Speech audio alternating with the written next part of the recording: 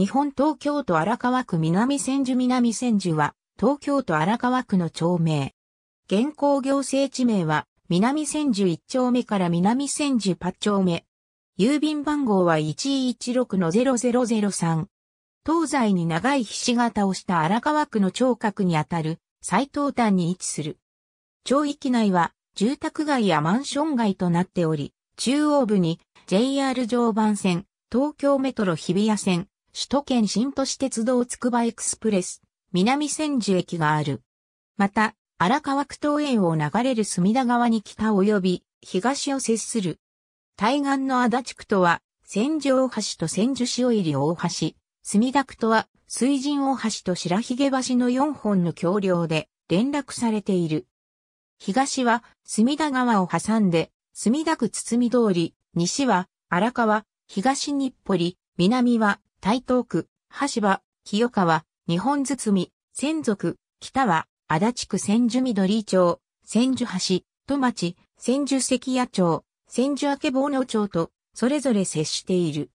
住宅地の地価は、2017年1月1日の工事地価によれば、南千住7の29の11の地点で36万1000円、平方メートルとなっている。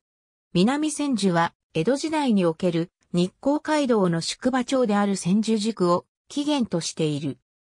隅田川以北の宿場が拡大し、万事3年に千住大橋南側の小塚っ原町、中村町が宿場に加えられ、以来、南宿と呼ばれた。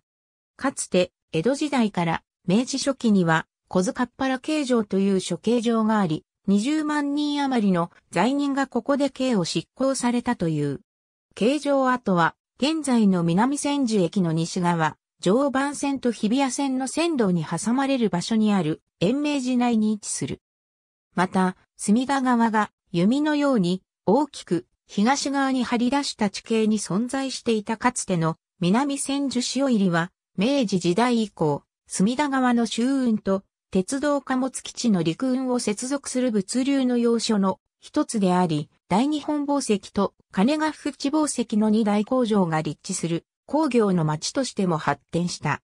多くの店で安く提供されているもつ煮込みや、ぼったらと呼ばれる南千住風もんじゃ焼きで知られる。ちなみに、南千住駅南側の涙橋交差点を中心に、山屋と呼ばれる地域があり、かつては、基地宿が立ち並ぶ労務者の町として知られ、現在も簡易宿泊施設が少なからず存在する。1976年10月25日、南千住八丁目の住宅密集地から火災。死者、負傷者はいなかったものの木造住宅、アパートなど18棟が全半焼した。南千住八丁目の町並み1987年以降、南千住駅から旧市入地区を中心とした大規模な再開発が開始され、現在も進行している。特に南千住駅東側に位置する南千住4丁目、8丁目、3丁目東側は旧国鉄生産事業団処分用地として隅田川貨物駅北部、東部が売却、整備され、旧塩入地区と合わせて大幅な区画整理とともに都市型道路が敷設され、20階から30階建て規模の超高層マンションも複数建設されている。南千住駅東口につながる補助322号沿いには、再開発事業の一環として開業したララテラス、南千住などの複合商業施設や、ロイヤルホームセンター南千住店が建設され、新興住宅市街地として賑わいを見せる。また、つくばエクスプレスの開業に伴い、JR 及び地下鉄南千住駅のリニューアルも実施され、南千住駅利用者の利便性と安全性が高まった。さらに2007年には、隅田川沿いに約13ヘクタールにも及ぶ東京都立塩入公園も整備されている。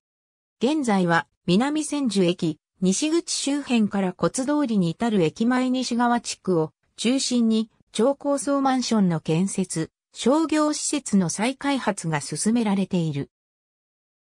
その他、南千住北西端にあたる鉄道線路伊勢地区、かつ国道4号伊勢に位置する南千住6丁目は、歴史ある下町的風景が広がるが、近年は隅田川沿いを中心に高層マンションの開発が進んでいる。かつては東京スタジアムが町域内にあった。